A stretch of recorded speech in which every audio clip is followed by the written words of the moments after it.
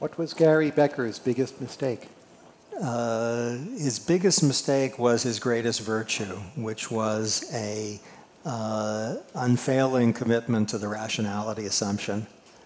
So I love Gary Becker as a person and as a scholar. You know, he's in the pantheon, but his uh, insistence on human rationality uh, was both what made him uh, as fantastic as he was, but also led him astray. So I'll give you a term for it. It's actually recently invented by Matthew Rabin, uh, behavioral economist. The term is explainawaytions.